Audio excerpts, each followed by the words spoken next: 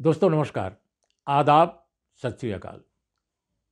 News click के कार्यक्रम news मंथन के साथ मैं उर्मिलेश।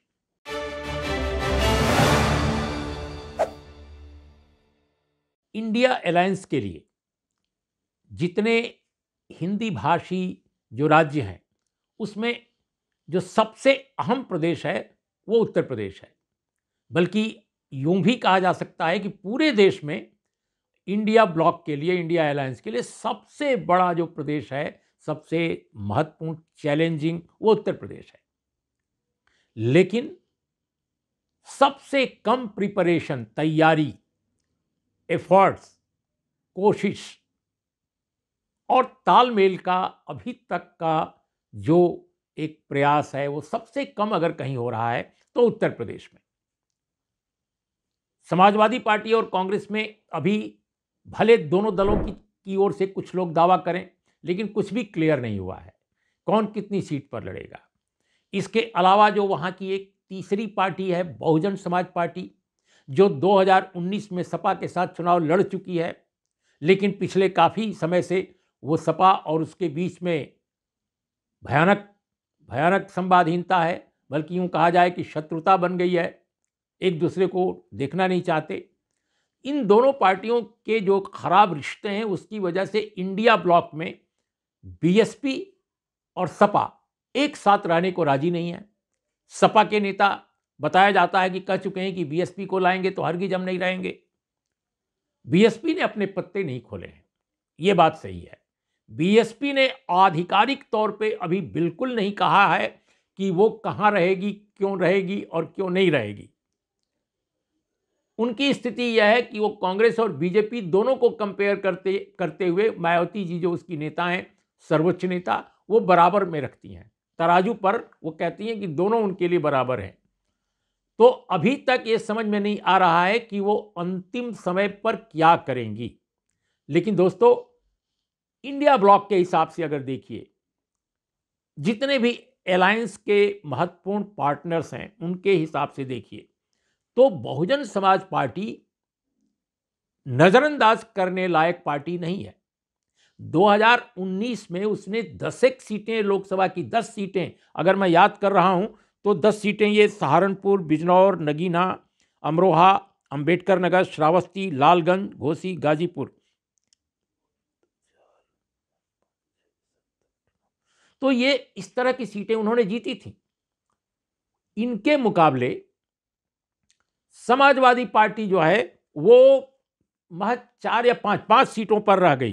केवल पाँच सीटों पर वो सिमट कर रह गई थी। और वो जो सीटें जीती थी, वो आप देखिए, अगर उनकी उनकी सूची बनाई जाए तो अखिलेश यादव आजमगढ़ से जीते थे, मैनपुरी से मुलायम सिंह यादव जीते थे, मुरादाबाद से डॉक्टर एस टी हसन जीते थे, रामपुर से मोहम्मद आज़म खां जीते थे, और संभल से डॉक्टर शफीकुर रहमान साहब जीते थे। अब ये जो लोग हैं, एक तो एक ही परिवार के लोग हैं और दूसरे माइनॉरिटी कम्युनिटी के तीन महत्वपूर्ण नेता हैं, जिसमें एक जो नेता है आज़म खां, उनके पीछे तो इतनी सारी केसेस उनका पीछा कर रही हैं। इतने मुकदमे उनके खिलाफ हैं कि पता नहीं वो चुनाव किस हालत में लड़ेंगे, नहीं लड़ेंगे या लड़ने की स्थिति ही नहीं होगी, कोई नहीं जानता। वो समाजवादी पार्टी के प्रति उनका नज़रिया अब क्या है, ये भी कोई अभी तक नहीं जानता। लेटेस्ट इन्फॉर्मेशन नहीं है। तो कहने का मेरा मतलब ये है कि समाजवादी पार्टी और बहुजन समाज पार्टी में जो एक माहौल है शत्रुता का, अगर वो बरकरार रहता है लोकसभा चुनाव तक तो निश्चित रूप से यह भारतीय जनता पार्टी के लिए बहुत बड़े फ़ायदे का एक तरह से रास्ता खुल जाएगा। भारतीय जनता पार्टी को फिर किसी चुनौती का कोई मतलब नहीं रहेगा।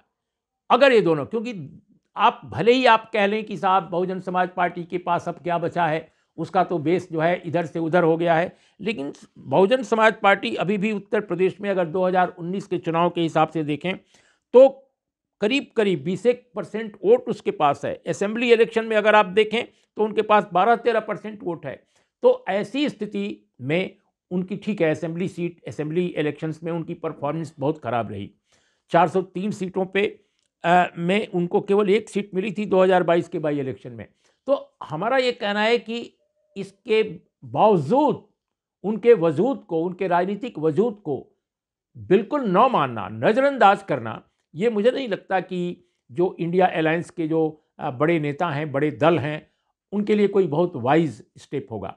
बल्कि उनको गंभीरतापूर्वक लेना होगा कि जो राजनीतिक दल, जो विपक्ष में आ सकते हैं, जो भारतीय जनता पार्टी की नीतियों से, भारतीय जनता पार्टी की जो जिस तरह से वो विपक्षी नेताओं के साथ पूरी डेमोक्रेसी के साथ जो उसका सलूक है उस पर वाकई अगर सजग हैं तो सबको जोड़ने की कोशिश होनी चाहिए। हमने सुना है बहुत सारे लोगों ने आ, इसकी चर्चा भी की है कि कांग्रेस की तरफ़ से बीएसपी से संवाद का कोई एक दरवाज़ा खोला गया है। हम नहीं जानते कि कौन सा वो दरवाज़ा है लेकिन ऑफिशियली कांग्रेस पार्टी ने अभी तक इस बारे में कोई बहुत निर्णायक कोई टिप्पणी नहीं की है। लेकिन अगर इंडिया अलायंस की तरफ़ से, सपा और बसपा की तरफ़ से दोनों पार्टियों से अलग अलग बातचीत करने में जितना विलंब होगा। मैं समझता हूँ कि इंडिया ब्लॉक के लिए उतना ही ये बहुत ही बड़ा डैमेजिंग होगा, हानिकारक होगा। क्योंकि भारतीय जनता पार्टी अपने छोटे छोटे गठबंधनों, गठबंधन के जो सहयोगी हैं, उनके साथ भी सीटें तय कर रही है। अभी हाल में देखा हमने कि अमित शाह जी जो सुहेल देव पार्टी के नेता हैं, राजभर साहब ओम प्रकाश राजभर, उनके साथ मीटिंग कर रहे हैं।